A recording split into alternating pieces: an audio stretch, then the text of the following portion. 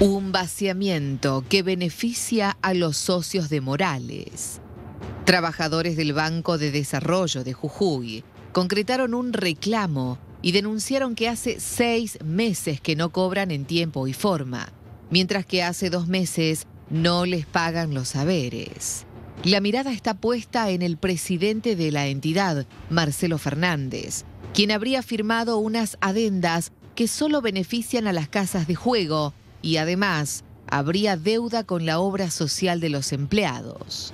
Que esta persona que gobierna a este banco, que es el presidente, no tiene la suficiente habilidad para llevar adelante a un banco, y menos en estas condiciones, donde no solamente no tiene habilidad absoluta, sino arma una adenda, reitero, que solamente lo único que hace es pagarle a los trabajadores de una empresa privada y olvidándose que de acá hay trabajadores del Banco de Desarrollo que no están cobrando.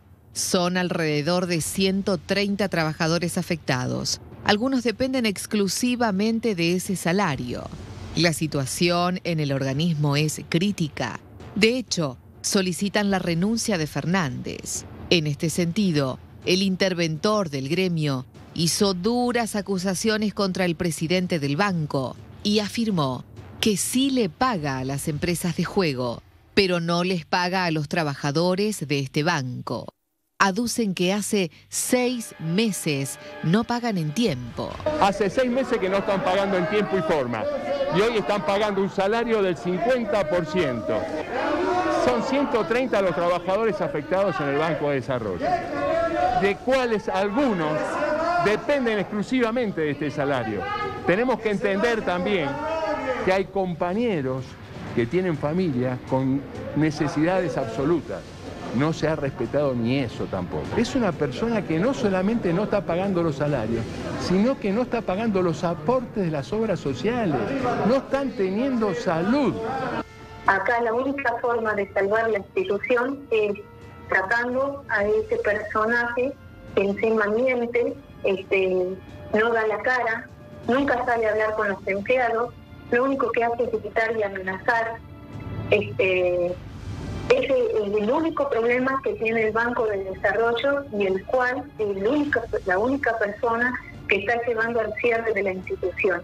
Ya quebró el Banco de Acción Social, ahora va a quebrar el Banco de Desarrollo. Desde hace un largo tiempo, distintas voces se alzan denunciando que existe una aviesa intención gubernamental de vaciar la entidad y cerrar las puertas. Y lo más grave que hizo en este último tiempo, desde abril de este año, firmó una venda con las empresas tragamonedas, disminuyendo los recursos del banco en forma alevosa, haciéndose cargo del gasto del personal y de los impuestos de las empresas.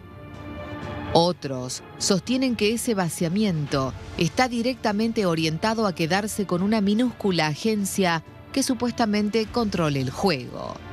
Mientras tanto, Gerardo Morales se niega sistemáticamente a obligar al juego a pagar los impuestos para hacer frente al BEGUP, tal cual fuera la iniciativa radical, extensamente fundamentada por Raúl Jorge.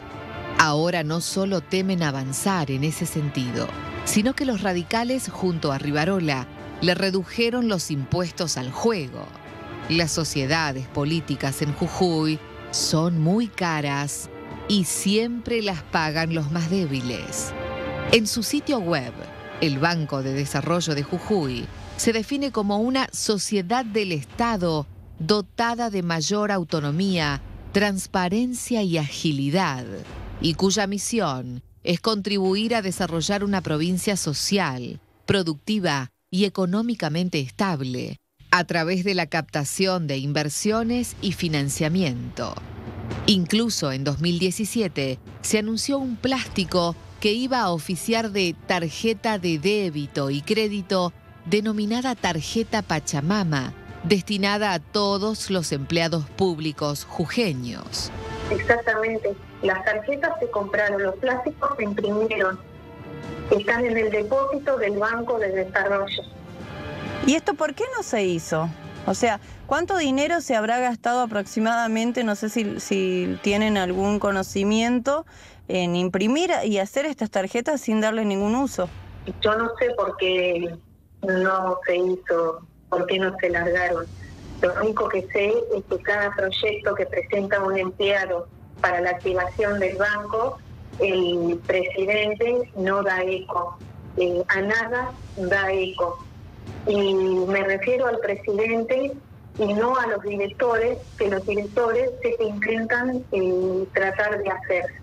Los trabajadores exponen las irregularidades y las motivaciones que habría detrás de las decisiones del presidente actual. Esto es producto de un vaciamiento que viene desde casi el origen de la creación de la institución por parte de una persona. Esa persona es el presidente del, banco, que es el contador Fernández. Es el artífice, es el mentor de toda esta situación y de todas las decisiones nefastas que, bueno, que en este momento este, nos pone una, una posición de liquidación. Sé y tengo conocimiento de algunos compañeros que quisieron este, tener las prestaciones de obra social y que no se las dieron porque no se habían hecho los pagos correspondientes. Mira, yo te voy a hacer un resumen de lo que hizo el señor Marcelo Fernández, presidente del Banco de Desarrollo Jujuy, desde el 2015 cuando asumió.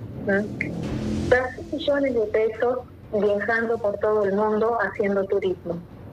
Realizó un gasto importante de impresión en tarjetas de crédito Pachamama, tarjeta que nunca salió a la calle. Que fue dicho en la inauguración del banco este, donde hay grabaciones de la inauguración del banco, todo lo que iba a ser el Banco de Desarrollo, el banco más grande de la provincia.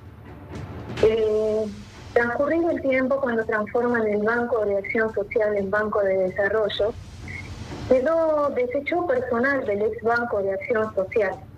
Y gracias a la intervención que vino en noviembre del año pasado, se pudo rescatar ciertos empleados del Banco de Acción Social con convenio bancario, pudieron pasar en abril recién de este año, 2021, pudieron pasar este, al Banco de Desarrollo.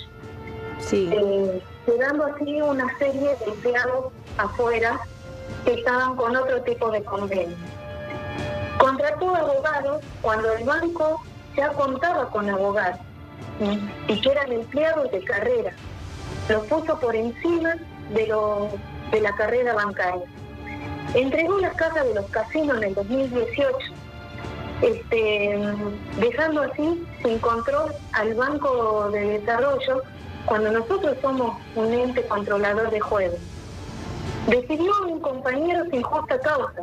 Ahora está en juicio, el cual seguramente el banco perderá millones de pesos para, para pagarle a este empleado. El próximo jueves 5 de agosto, los trabajadores concretarán un abrazo simbólico a la entidad.